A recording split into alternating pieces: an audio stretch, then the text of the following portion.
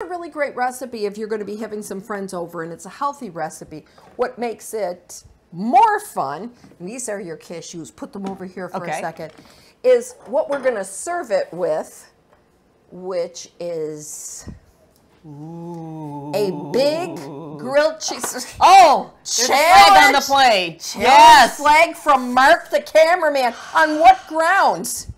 Unhealthy? Let me- Unhealthy? Let me, check it out. yeah, Lori, sorry. You lose a timeout. It's not healthy.